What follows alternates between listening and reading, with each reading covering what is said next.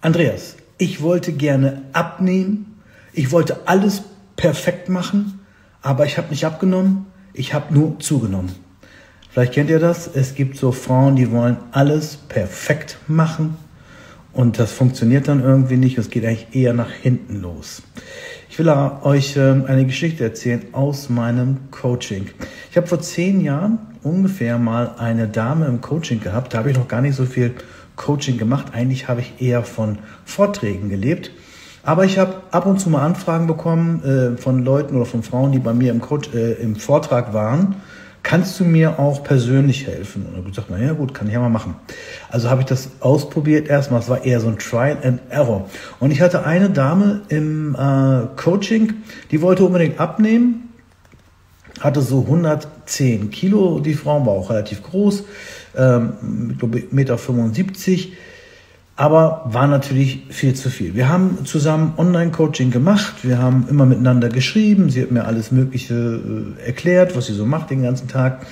Und die war auch wirklich sehr schlau, die Dame, die hat mir dann auch geholfen, noch bei meinem Buch zu schreiben, hat mir so Kapitel geschrieben, alles gut. Aber das Gewicht ging nicht runter, obwohl sie eigentlich alles wusste und sie war auch beim Arzt und sie war überall, aber nichts hat funktioniert. Also, hat sie, habe ich irgendwann gesagt, du, ich kann dir nicht helfen. Ey, wir sind jetzt ein halbes Jahr zusammen, du bezahlst jeden Monat Geld, aber es bringt nichts. Also, äh, nichts. Das Gewicht geht überhaupt nicht runter. Und dann sagt sie, aber ja, bitte, bitte lass mich doch mal einmal dich besuchen kommen, dass wir mal zusammen persönlich reden, weil es ja Online-Coaching war. Nun war das 500 Kilometer weit weg. Ich sag, du, das sind 500 Kilometer, beziehungsweise wir waren dann schon beim Du, wir waren ungefähr ein halbes Jahr beim Sie, sehr angenehm eigentlich alles und sehr höflich. Und dann sagte ich möchte unbedingt zu dir kommen. Und ich hatte damals überhaupt kein Büro oder so. Ich hatte so ein Redaktionsbüro, man, wo ich alleine drin gesessen habe, 20 Quadratmeter. Und mir war das auch komplett unangenehm, da überhaupt Gäste zu empfangen. Und das war, wollte ich eigentlich auch nie. Ich wollte nur meine Vorträge vorbereiten und fertig.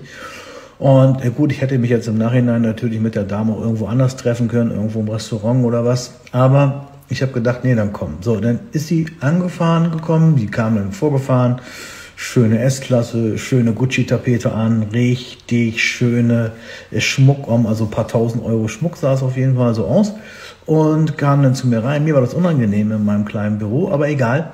Jedenfalls haben wir dann uns unterhalten und ich, muss, ich sag euch, ich wusste überhaupt nicht, was ich machen sollte. Ich hatte überhaupt keine Lösung mehr, denn wir hatten alles mögliche ernährungsmäßig ausprobiert und nichts ging. Und damals wusste ich noch nicht, dass es eine sogenannte Geist- und Stoffwechselverbindung gibt. Und das, das gibt es heute eine richtige Wissenschaft zu. Das nennt man Psychoneuroendokrinologie. Und da weiß man, dass auch Gefühle sich auf die Hormone und auf den Stoffwechsel auswirken. Ihr kennt das sicherlich, wenn ihr Angst habt oder so, dass dann vielleicht die Verdauung nicht so gut ist oder so. Oder wenn ihr sehr viel Stress habt, dass ihr dann Blutzuckerschwankungen habt, weil das Cortisol durcheinander ist. Und wenn Cortisol durcheinander ist, das Stresshormon, dann ist auch mehr Zucker da, mehr Blutzucker da und auch mehr Hunger. Und irgendwie, so, damals wusste ich das noch nicht, ich habe es irgendwie so, so ein bisschen vermutet.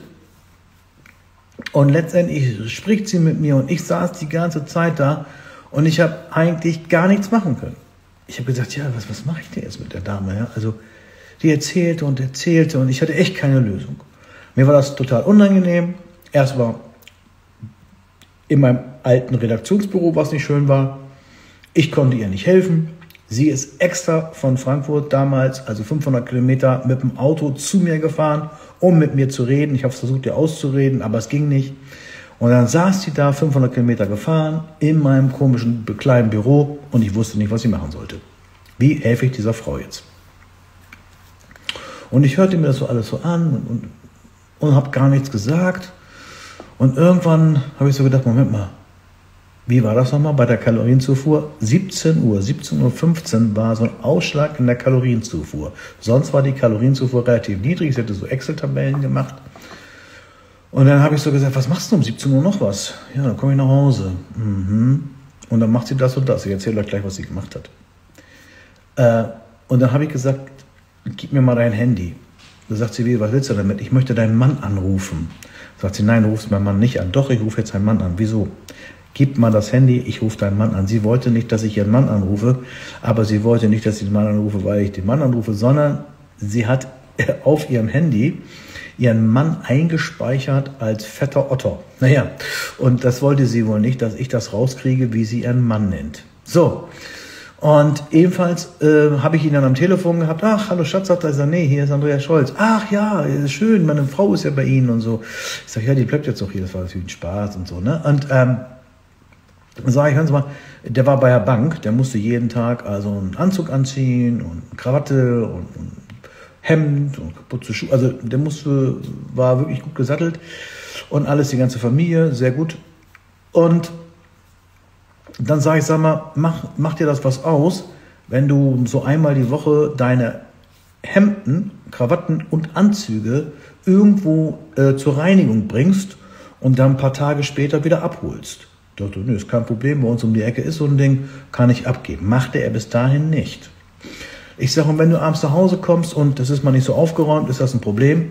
Nee, ist kein Problem. Also, ich kenne das ja selber von mir.